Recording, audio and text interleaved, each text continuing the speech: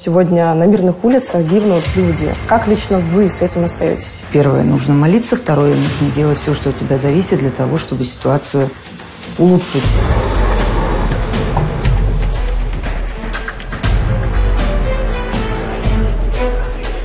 Ну, как-то власть никак на это не реагирует, на то, что происходит. Восемь лет мы кричали, ну почему мы ничего не делаем, почему мы не заберем Донбасс? А он нам отвечал, еще не время.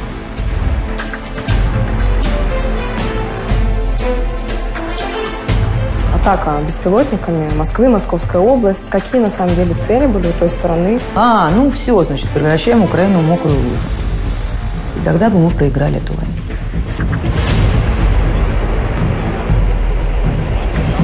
Что-то зажужжало, потом был глухой удар. Проснулись мы, собственно, от такого от мощного хлопка позиции Великобритании военные цели за пределами собственных границ – это часть самообороны. А раз вы участвуете в этой войне, то так же, как Россия – легитимная цель с вашей точки зрения для Украины, так и вы – легитимная цель для нас. Вот помяните мое слово, этим и кончится.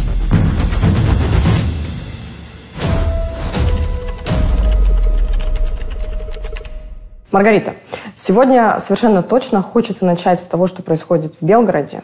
Скажите, как оставаться с тем, что сегодня эвакуируют людей из российских городов, и что сегодня на мирных улицах гибнут люди, и эта цифра только растет с каждым днем?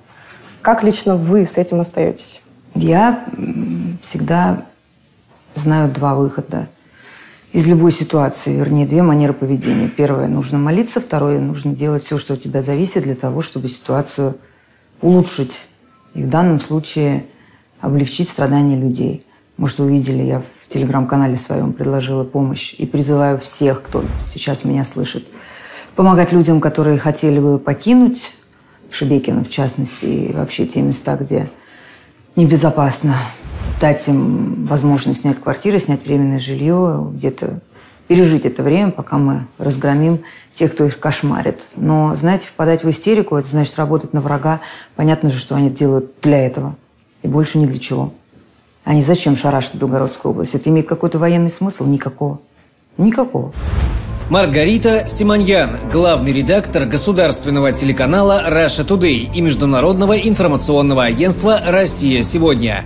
С марта 2022 года Russia Today запрещен в Евросоюзе и некоторых странах Запада. Сама же Симоньян находится под санкциями, объявлена в международный розыск, а ее фамилия числится под номером 2 в украинском списке российских журналистов, на которых негласно объявлена охота. Я сказала, Россия, матушка, забери Донбасс домой.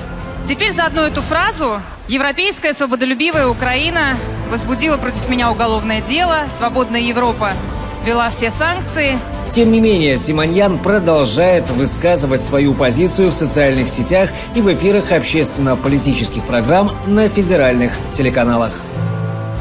Вот вы сказали, что вы предложили помощь. Обращался ли к вам кто-то уже? Да, конечно. Мои помощники мне написали, что уже больше сотни обращений. Из них документы... Ну, потому что надо же проверять, понимаете, могут же быть мошенники, естественно. Таких тоже полно, к сожалению. Из них несколько человек уже прислали документы, то есть подтвердили, что они не мошенники. И уже вот я им буду оплачивать квартиры, собственно говоря, с сегодняшнего дня. А, ну, я написала, что я сама потяну, наверное, там 5-10 семей. Но дальше я уже буду трезвонить по всем людям обеспеченным, призывать их к, не знаю к чему, к нормальности.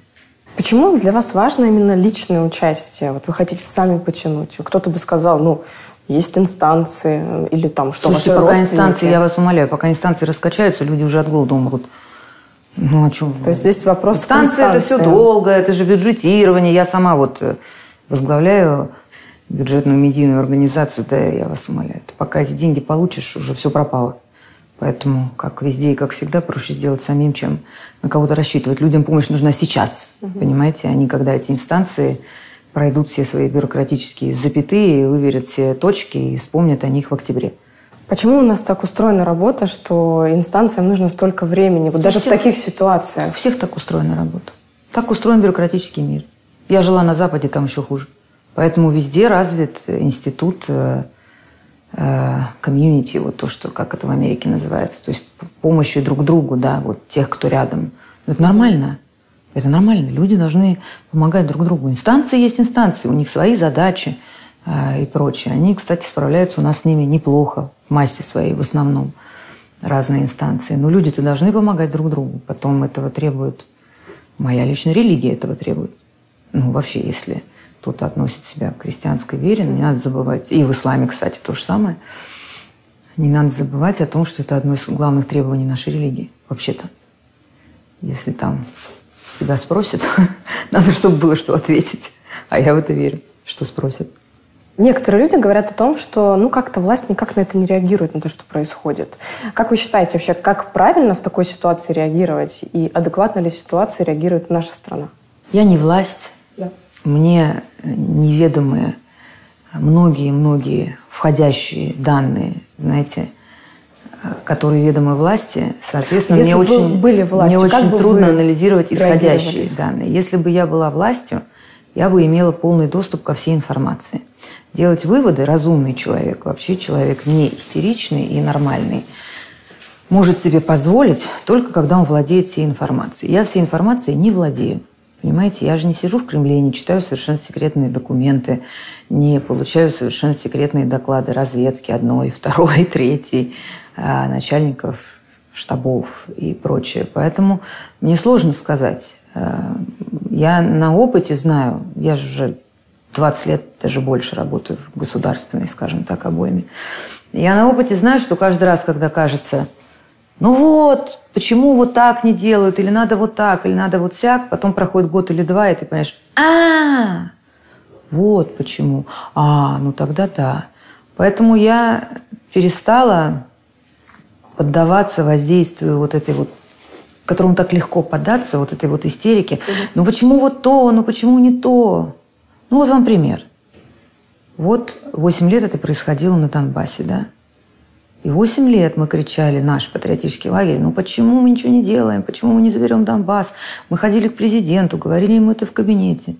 А он нам отвечал, еще не время.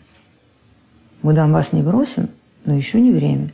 И мы не могли понять, а что не время-то? Ну, теперь-то понятно. А представьте, все началось бы пять лет назад, например, когда мы не были к этому готовы. Ни с точки зрения армии, ни с точки зрения экономики. Вот только представьте, что все что-то происходит сейчас, они-то были готовы уже, Запад я имею в виду, угу. а мы-то нет. Еще не было, как вы помните, 18 года, когда нам было объявлено о нашем новейшем оружии, гиперзвуковом и прочем. Этого еще все не было. Представляете, мы бы начали. А нам бы вот такую вот ответочку всем западным миром, всем НАТО плюс-плюс количество стран. Тяжело было, правда? И вот теперь ты думаешь, понимаешь, а, так вот почему. Поэтому я не хочу себе позволять вдаваться вот в такое «я лучше знаю». Я лучше не знаю. И все остальные, кто сидят и говорят, ну почему мы то, ну почему мы все, они лучше не знают. Поверьте мне. Путин знает лучше. Реально. Вот реально. Не могу тоже не пройти мимо э, события атака беспилотниками Москвы, Московской области. Тоже многие об этом говорят. И вы в том числе высказывались. И вы сказали такую фразу «они хотят нас выбесить».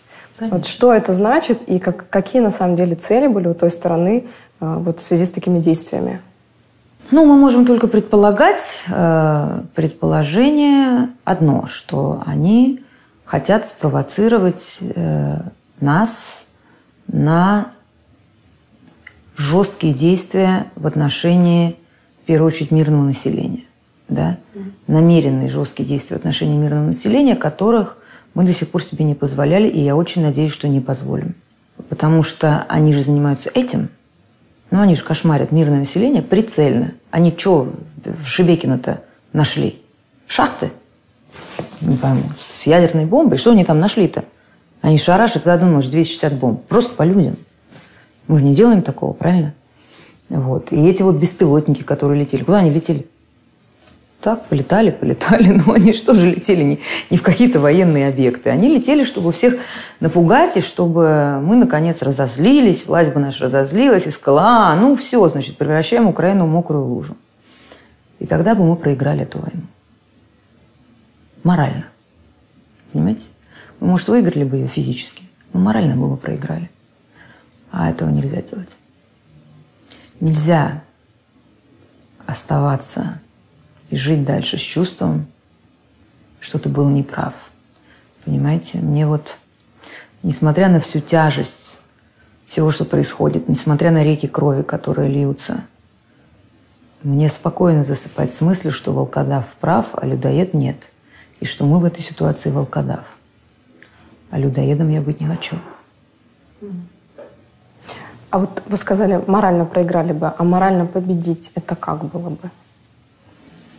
Морально победить – это знать, что правда на твоей стороне, что ты э, проводишь эту операцию не потому, что тебе хочется еще хапнуть какой-то землицы, земли нам мало что ли, а потому что ты защищаешь людей, что люди, которые живут на наших новых территориях, это наши люди, и они хотят быть с нами – что ты стараешься всеми силами не причинить ущерба простым людям. Понятно, что избежать этого невозможно, на то она и война. Но вы же понимаете разницу между тем, чтобы делать это намеренно, как делают они с 2014 года, начиная, и э, случайным, то, что называется вот collateral damage, да, есть такой термин у американцев – а потом значительную часть они делают сами. Они сбивают нашу ракету, обломки летят в их дома. Она летела-то не в дом. Она же летела совсем в другое место. Но им проще пожертвовать своим жилым домом, чем тем военным объектом, куда она должна была прилететь по правилам войны. Вот. Вот это и есть ощущение того, что ты прав, что ты на стороне правых сил. На стороне, что значит на стороне? Я всегда была бы на стороне своей родины, даже если бы она была не права тут уж никуда не денешься. Но осознавать, что мало того, что ты на стороне своей родины, так она еще и права, это очень успокаивает даже в такую тяжелую ситуацию, в которой мы все находимся. Вот э, многие сейчас обсуждают также позиции Великобритании. Э, недавно э, глава МИД заявил о том, что военные цели за пределами собственных границ – это часть самообороны ну, с точки зрения ракет, которые Украина направляет в нашу сторону но при этом а, есть также ракеты «Шторм», которые они отправляют Украине, которые также, получается, принимают участие во всем происходящем. И вы также говорили о том, что Британия, она как будто бы, вот, как будто бы всегда как-то ни при чем. Вот ну, в чем суть такой позиции, где вот в одной ситуации так, а в другой ситуации вот так? Британия так делает сама всю свою историю. Это называется чужими руками жар загребать. Вы вспомните, как э, Британия конкурируя с испанцами на морях, громила этот испанский знаменитый флот, знаменитую испанскую непобедимую армату. А, она же как это делала? Она это делала руками пиратов, бандитов, разбойников. Был у них такой Дрейк, которого э, и награждали, и лордом сделали. И там ходили слухи, что он вообще любовник королевы девственницы Елизаветы, что она не совсем была девственница в этом смысле.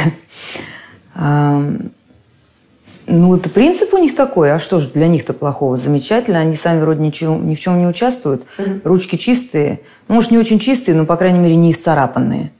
А цели достигнуты. Вот теперь они выбрали себе разбойником Киев, Зеленского и борются с нами руками этих разбойников. Ничего нового совершенно. Все понятно. Но при этом они заявляют, что Россия в данном конкретном случае для Украины это такая законная военная цель, которую можно поражать в целях самообороны для Украины.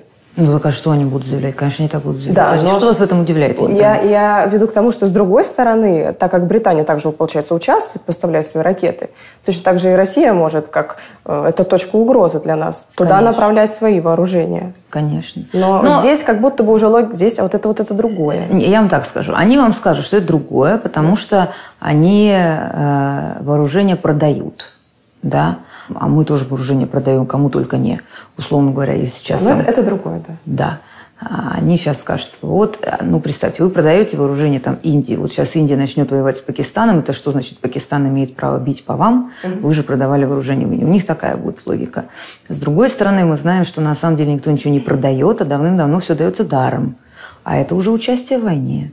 И поэтому я считаю, что, конечно, мы имеем полное право заявить, что, друзья мои, вы участвуете в этой войне. А раз вы участвуете в этой войне, в этой войне, то так же, как Россия легитимная цель с вашей точки зрения для Украины, так и вы легитимная цель для нас. Я вам больше скажу, Ксения, вот помяните мое слово, этим и кончится. Звучит вот все это закончится угроза. именно так. Вот мы проснемся однажды утром и узнаем, что этой ночью Владимир Путин объявил ультиматум, сказав, что если будут продолжаться наноситься удары истребителями F-16, взлетающие с аэродромов таких-то стран, а ведь к этому все идет, если будет продолжать поставляться такое-то, такое-то вооружение, отправляющееся из портов таких-то стран, то мы считаем и эти аэродромы, и эти порты нашими военными целями.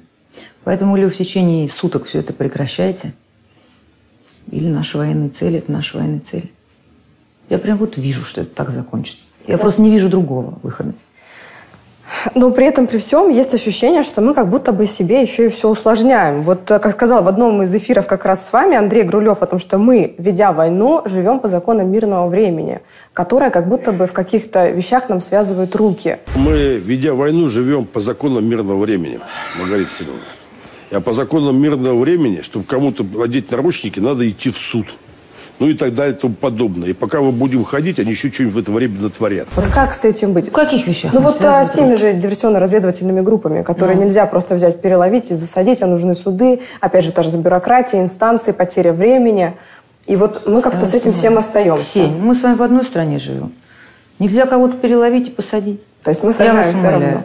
Ну, слушайте, ну, сажают э, предпринимателя за то, что там другой предприниматель его заказал, потому что он у него киоск там хочет отжать. И нормально сажают. А ДРГ нельзя сажать. Я не знаю, о чем говорит э, генерал Грулев. Вы спросите у него. Военное положение вводить в стране не надо.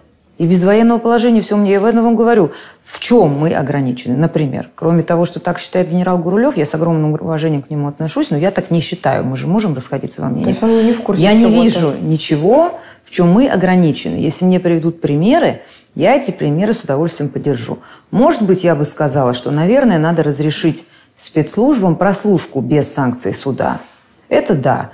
К тому же мы прекрасно знаем, что лю- любую прослушку без всяких спецслужб можно за три копейки просто заказать и прослушивать кого хочешь. И получается, что просто нечистые на руки, там, опять же, выясняющие друг с другом отношения хозяйствующие субъекты могут друг друга прослушивать. А чистые, тот сотрудник спецслужб, который все хочет делать по закону, он обязан получать санкцию суда, нужно там уголовное дело и так далее.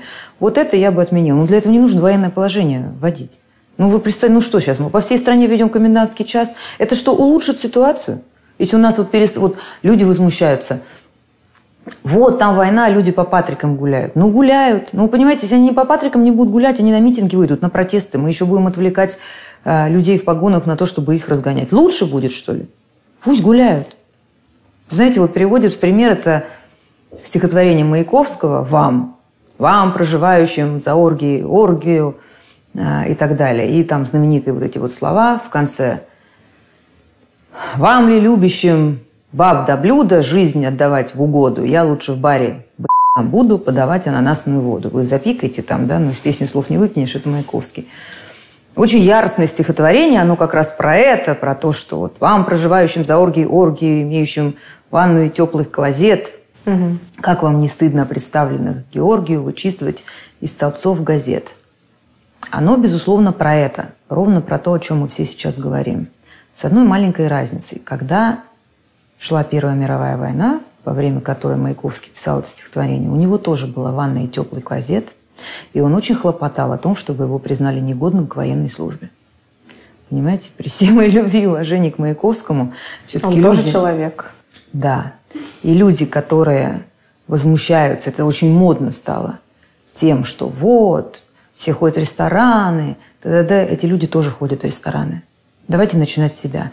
Давайте сначала поселите э, где-нибудь или у себя дома, или снимите квартиры, хотя бы одной семьи из Шебекина. А потом будем требовать, чтобы все жили, э, чувствуя войну. Вот когда начнешь помогать людям и делить свои зарплаты, чувствуешь войну. Много шума вызвали слова сенатора американского о том, что русские умирают, и мы еще никогда так удачно не тратили деньги. А я, между прочим, сразу написала, что это, скорее всего, склейка, если вы видели. The Russians are dying. It's the best money we've ever spent. И вот вопрос мне не в том, а, действительно ли так было или не было. Там невооруженным глазом видно, что это склейка. Вопрос в том, почему иностранные издания, серьезные издания, начали это распространять. Ой, я вас Для умоляю. чего? Вы видели, кто там работает в этих иностранных изданиях? Когда-нибудь видели редактора, просто редактора на ленте какого-нибудь агентства Рейтерс того же? Катастрофическое падение уровня образования и профессионализма везде. Понимаете? Среднестатистический редактор Рейтерс вам на карте не найдет Киев. Понимаете? У них министр иностранных дел не знает, где находится Воронежская область, в России или на Украине. О чем вы говорите? Но ведь э, это смотрят люди, и ну, нельзя сказать, что люди тоже все дураки. И, ну, как бы все понятно. Ну, как вам сказать? Вы заметили, какую-то вызвало реакцию? Никто же не поверил, что это склейка. Это Киев вот какой-то подставил хайп. просто всех. Э, В первую очередь подставил своих западных партнеров. Перемонтировал речь не последнего человека среди своих партнеров и заставил его говорить то, чего он не говорил. Он, конечно, редкий чудак в любом случае, этот Линдси Грэм. У меня к нему личные счеты, потому что он наложил вето на признание геноцида армян. И тем не менее, ну, все-таки мы же за правду в первую очередь. Он этого не говорил. Он говорил много другой вопиющей фигни и заслужил несколько встреч с Рамзаном Кадыровым давным-давно. Но этого он не говорил. Вот эта попытка что-то кого-то как-то взбудоражить, она, в принципе, не имеет особого смысла и эффекта, как мы все увидели. То есть здесь даже как стратегии никакой нет. Ты э, при службе Вовчика Кокосика очень хотелось, чтобы он так сказал. Но он так не сказал, поэтому они так смонтировали. А что, какая разница? А что? Так нельзя было, а что? Все монтируют, а что? Нам не можно? Можно. Украинская разведка э, заявляет э, в последнее время громкие вещи, вот в том числе про Владимира Путина, о том, что он цель номер один в списке украинской разведки. Почему? Здесь как бы даже аргументы, э, потому что Путин координирует и решает, что происходит. А задача, собственно, ведомства – уничтожить командира подразделения, которое отдает своим людям приказы атаковать. Вот как вы думаете, насколько вообще такое заявление вообще осознанно в- в- в- было выдано в своей публикации? Вот достижима ли эта цель с точки зрения украинской разведки? Комментировать заявление командующей украинской разведки я не могу, поскольку у меня нет медицинского образования. Соответственно, я не могу себе позволить комментировать психиатрические диагнозы. Здесь без шансов Абсолютно.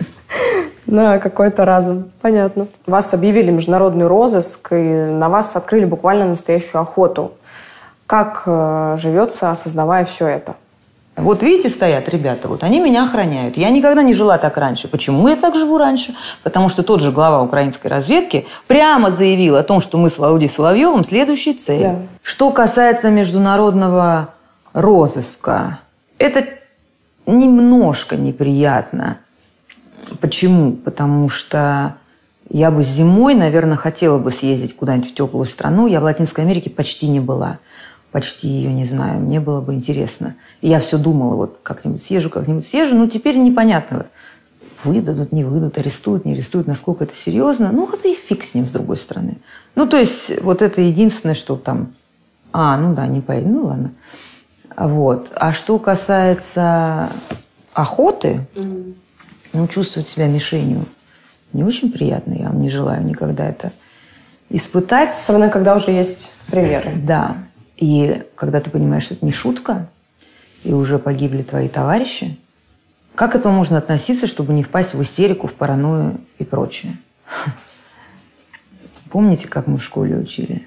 Мой мальчик, на свете два раза не умирать. Ничто нас в жизни не может вышибить из седла. Такая уж поговорка, такая вот поговорка у майора была. Держись, мой мальчик, на свете два раза не умирать. Если у меня был хоть один шанс никогда не умереть, я конечно, очень расстроилась. Но поскольку таких шансов у меня нет, мне уже 43 года, я уже родила трех детей, и чего-то, что хотела сделать в жизни, уже сделала, я стараюсь относиться к этому так, что погибнуть в борьбе за свою родину, неважно, на фронте ты воюешь или с микрофоном в студии, в своей профессии, но это все-таки ничем не хуже, чем умереть от рака, например. Понимаете? Ну, я же все равно от чего-то умру, рано или поздно. Ну, так, значит, так. Значит, такая судьба. Что поделать? Не хотелось бы, конечно, потому что возраст еще не тот. Но с другой стороны, ну, значит так. А что? Я воспитана великой русской литературой и рассказами своей прабабушки армянки, которая пережила геноцид, и чья сестра выбросилась а, в море с горы, чтобы не достаться янычарам, чтобы они ее не обесчестили. И поэтому, будучи воспитанной великой русской литературой своей прабабушкой армянкой, я считаю, что в жизни есть вещи страшнее смерти. Вот бесчестие страшнее смерти. Позор страшнее смерти. Грузия. Открыли недавно авиасообщение, полетели самолеты из России туда. И вот как их встретили? С транспарантами, с разными лозунгами. Не рады были. Это и есть те воспитанные десятилетиями всеми этими американскими грантами и фондами а, их выкормыши, которые хотят сорвать нормализацию отношений между Грузией и Россией. И любой нормальный человек это понимает, и любой нормальный человек не должен это реагировать, а должен понимать, что это единицы, которые там по работе. Или если не по работе, то одурманенные и оболваненные теми, кто это сделал по работе. Понимаете? За деньги американских НКО.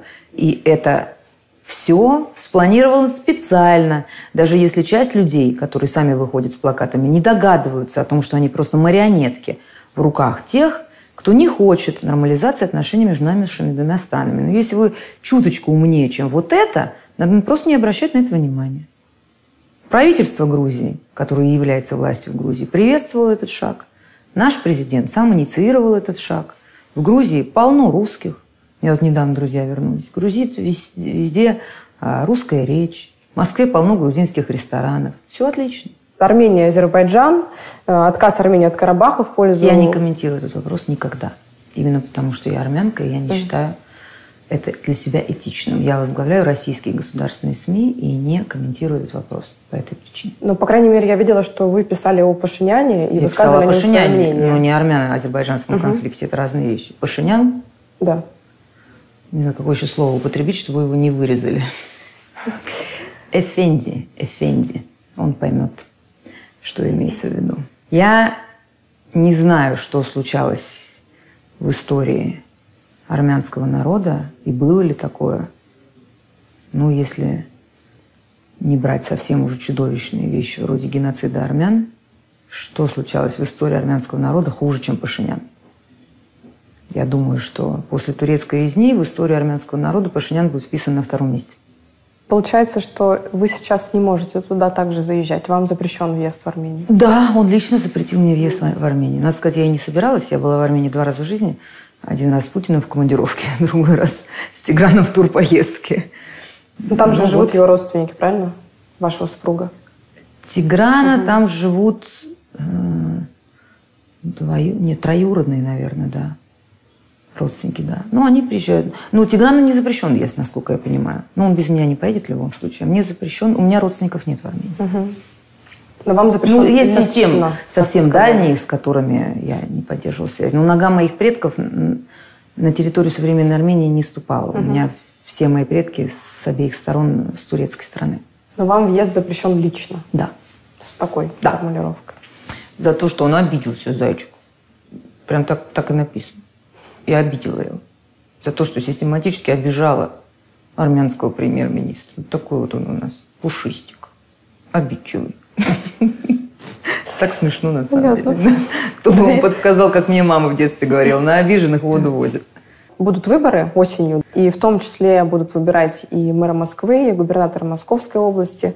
Вот как вы думаете, если попробовать заглянуть немножко в будущее, в текущих реалиях, а есть ли тут вопрос, э, может быть, угрозы безопасности, вообще проведения каких-то таких мероприятий? Насколько это будет спокойно? Слушайте, дожить надо.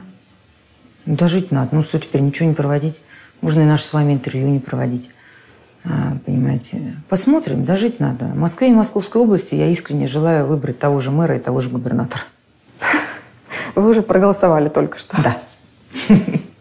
Ну, как думаете, может быть, э, я не знаю, какие-то меры можно предпринять, которые были бы полезны, которые раньше не предпринимали? Ну, электронное голосование же сейчас развивается. Да. Я не знаю, в каком объеме оно будет использовано на этих выборах, но, mm. конечно, учитывая ситуацию, хорошо бы, чтобы чем больше, тем лучше. оно использовалось. Ну, посмотрим. Я не владею, честно вам сказать, информацией о подготовке к выборам. Я этим не занимаюсь.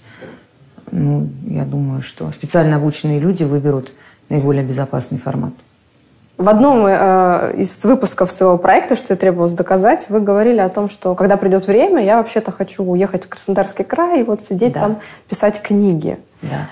Э, вот какая книга будет первой написана? И что вообще должно произойти, уже случиться, чтобы вы со спокойной совестью, чистой душой сказали, ну все, я поехала.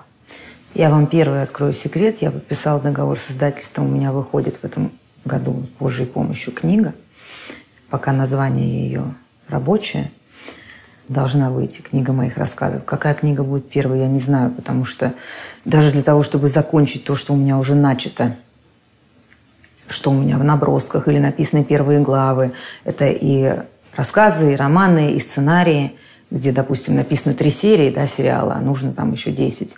Мне только, чтобы это закончить, нужно минимум 5 лет заниматься только этим, не работая. Вот просто сесть, вот как я люблю, закрываюсь в своей комнате и сижу в своей комнате весь день. И мне даже еду туда приносят. И просто, и там же вот как проснулась, надела халат, сижу и так же и засыпаю. А вы смогли бы так Вот. пять лет? Да, я смогла Без бы так- работы? А, безусловно. Я смогла бы так всю оставшуюся жизнь. А вы считаете, что это не работа?